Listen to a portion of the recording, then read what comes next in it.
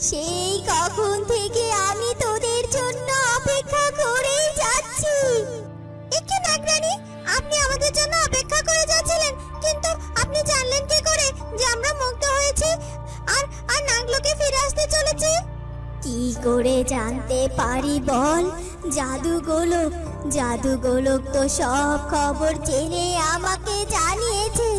জানিস, তোরা যে বন্দি হয়েছিলিস এটা আমি জানতাম। কিন্তু আমি অপারক ছিলাম। তোদেরকে মুক্ত করতে যেতে পারিনি। ততটুকু শক্তি যে আমার নেই, আমি নাগরানী হয়েও তোদের নিরাপত্তা দিতে পারিনি। আর এটা যে আমার ব্যর্থতা, পারলে তোরা আমাকে ক্ষমা করে দিস। এসব কি বলছেন নাগরানী ওদিকে সূর্যের বাবা সাপুড়ে দুজন বাড়ি থেকে বেরিয়ে একটি নির্জন জায়গায় যায়। হ্যাঁ এখন বলুন কি বলার জন্য আপনি আমাকে এখানে নিয়ে আসছেন? আচ্ছা আবার কোনো নতুন বিপদ হয়নি তো? না না নতুন কোনো বিপদ হয়নি তবে বিপদ হওয়ার সম্ভাবনা আছে। কি বলছেন কি? বিপদ হওয়ার সম্ভাবনা আছে? মানে কি হয়েছে কি? বলুন আমাকে। আর তাছাড়া আপনি কীভাবে বা জানেন যে আমাদের সামনে বিপদ আসতে চলেছে? দেখুন আমি জানি না আপনি জানেন কি না আসলে আপনার স্ত্রী আর আমার স্ত্রীকে এক ভিক্ষুক এসে নাকি আশা দিয়ে গেছে যে সূর্য নাকি আবার ফিরে আসবে। আর ওরা তো সেই আশাতেই বসে আছে। কি বলছেন কি এসব জাতা সূর্য ফিরে আসার কথা দিয়ে গেছে এক ভিক্ষুক। কিন্তু সেটা কি করে হয়? আমার সূর্য তো পৃথিবীতে নেই ও তো মারা গেছেন। তাহলে ও কি করে ফিরে আসতে পারে? আর ওই ভিক্ষুকই কেনই বা এমন কথা বলতে গেল? জানি না আমি। কিছুই জানি না। উনি প্রথমত আপনার স্ত্রীর কাছে এসেছিলেন এবং তাকে যে কথা বলে গেছেন, তারপর আমার স্ত্রীর কাছে সেই কথাই সে বলে গেছেন।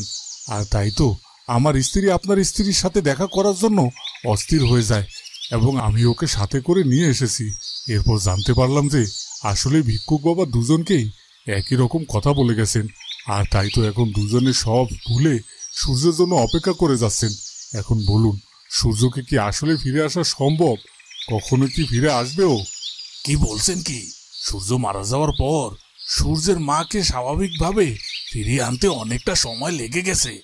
আর এখন এখন যদি আবার সূর্য ফিরে আসার জন্য অপেক্ষা করে আর সূর্য যদি না ফিরে আসে তাহলে ওকে সামলানো যাবে না।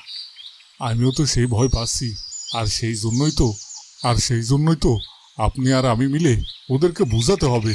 বিক্ষোভ যা বলেছে সেটা ভুল বলেছে। কিন্তু আপনি যেটা বলছেন আমার মনে হচ্ছে না। আমরা বুঝালে আমাদের স্ত্রীরা বুঝবেন। আসলে আসলে আমাদের স্ত্রীদের মনের সম্পূর্ণ রূপে আশা জাগিয়ে দিয়ে গেছে। আমাদের স্ত্রীরা ওই ভিক্ষুক বাবাকে বিশ্বাস করতে শুরু করেছে। তাহলে তাহলে এখন কি করবেন? ওদিকে ভিক্ষুক একা একা পথ চলতে থাকে। যাক আমার কাজ আমি সম্পূর্ণ করতে পেরেছি। আগে সূর্যের মাকে, তারপর সূর্যের অন্য মাকে। আমি সঠিকভাবে বুঝিয়ে আসতে পেরেছি যে সূর্য আবারও ফিরে আসবে। তারা দুজনে তো আমাকে বিশ্বাসও করে নিয়েছে, আর তারা এটাও ভাবতে শুরু করেছে যে সূর্য আবার ফিরে আসবে। আমি তো বেশ ভয় পেয়ে গিয়েছিলাম যে হয়তো বা আমি ওদের সামনে গেলে ওরা আমার কথা বিশ্বাস করবে না। আর তার সাথে তারা খারাপ ব্যবহার করে আমাকে বাড়ি থেকে তাড়িয়ে দেবে। কিন্তু তারা সেটা তো করেনি। তারা আমাকে খেতে দিয়েছে এবং আমার কথা সুন্দরভাবে শ্রদ্ধার সাথে শুনেছে। আর তারা বুঝতেই পারেনি আমি কেন, কি উদ্দেশ্যে তাদের কাছে গিয়েছিলাম। তারা একটিবারের জন্য আমাকে প্রশ্নও করেনি আসলে সূর্যের দুই মা সূর্যকে অনেক বেশি ভালোবাসে, আর তাই তো তারা যখন শুনতে পেয়েছে যে সূর্য তাদের কাছে ফিরে আসবে, এটা শুনে তারা আর কিছু জানতে চায় নাই। তারা অনেক বেশি খুশি হয়েছে। তবে আমি একটু শান্তি পেয়েছি যে ওরা আমার কথা শেষ পর্যন্ত বিশ্বাস করেছে। আর এখন আমার আর কোনো চিন্তা নেই। এখন আমি শান্তি মতো ফিরে যেতে পারব। আর তাছাড়া এই গায়ে আমার বেশিক্ষণ থাকাটা ঠিক হবে না। কারণ আমি যদি বেশিক্ষণ এই গায়ে থাকি, তাহলে তাহলে যখন তখন আবার বিপদ হতে পারে। আর এখন এই গ্রামের আশেপাশে কোনো লোকও দেখা যাচ্ছে না। এই গ্রামে কোনো লোকের সামনেও পড়া যাবে না। আমাকে লোক লোকচক্ষুর আড়ালে থাকতে হবে। আর কেউ দেখে ফেলার আগে আমাকে এখান থেকে সরে যেতে হবে।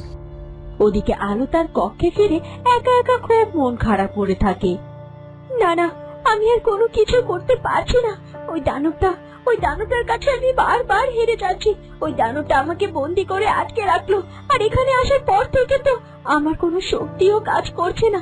আমি যতবার আমার শক্তির সাহায্য নিতে চাইছি, ততবারই ততবারই আমার সব শক্তি অকেজো হয়ে যাচ্ছে। এর কারণ কি? কেন হচ্ছে? কেন হচ্ছে এমনটা? যার কারণে আমি আমার শক্তি পর্যন্ত ব্যবহার করতে পারছি না। আর আর তাই তো এখানে আমার একজন সাধারণ মানুষের মতো থাকতে হচ্ছে। আর ওই ওই দানবের হাত থেকে মুক্ত হতে পারছি না। এমনকি প্রজাদেরকেও এখান থেকে মুক্ত করতে পারছি না। আর তাছাড়া ওই দানবটা তো আমার বন্ধু। আমার হলুদ পাখিটাকে ওই খাঁচায় আটকে রেখে কষ্ট দিচ্ছে।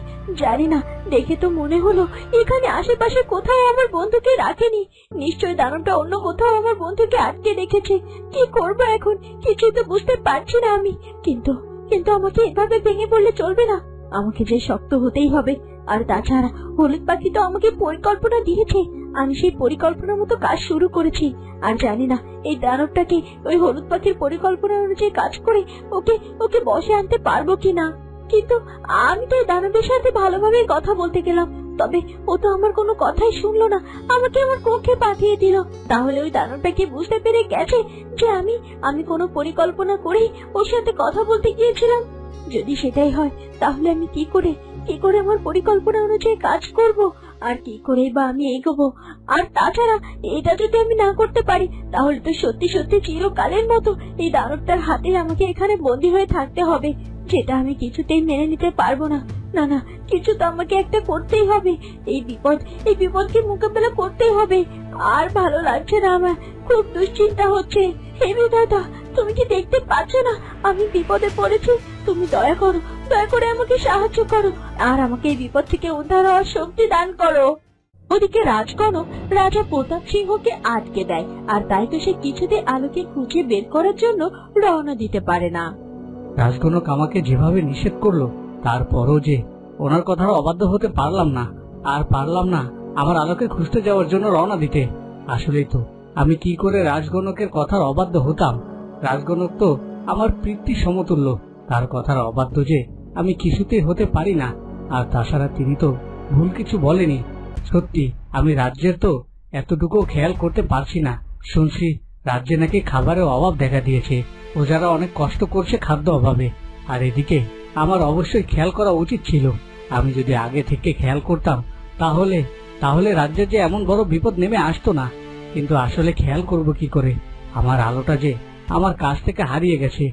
যদিও রাজগণক বলেছে যে আমার আলো কোনো ক্ষতি হয়নি তারপরে যে আমার কিছুতেই মন মানছে না। যতক্ষণ না আমি আমার আলোকে উদ্ধার করে নিয়ে আসতে পারব, ততক্ষণ আমি কিছুতেই শান্তি পাবো না। আর তাছাড়া তো আমি প্রহরীদেরকে রাত দিন ধরে খোঁজার অনুমতি দিয়ে দিয়েছি, তারা তো খুঁজেই চলেছে।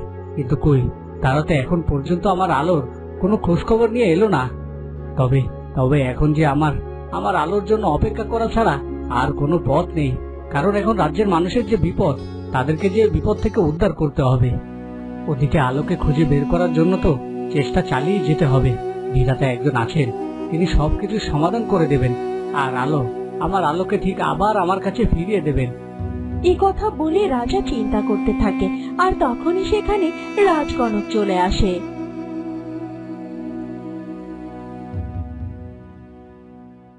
মহারাজ সর্বনাশ হয়ে গেছে মহারাজ। রাজ্যের প্রজারা সবাই রাজদরবারে এসে হাজির হয়েছে। মহা বিপদ হতে চলেছে। চলুন মহারাজ এক্ষুনি রাজসভায় চলুন। কেন? রাজ্যে আবার নতুন করে কি বিপদ শুরু হলো? তো বন্ধুরা কি হতে চলেছে এরপর? সেটা জানব আমরা কুচবরণ কন্যার পরবর্তী পর্বে। আর আমাদের আজকের ভিডিওটি ভালো লাগলে অবশ্যই আমাদের চ্যানেলটিকে সাবস্ক্রাইব করে দিও। দেখা হবে পরের ভিডিওতে। ধন্যবাদ।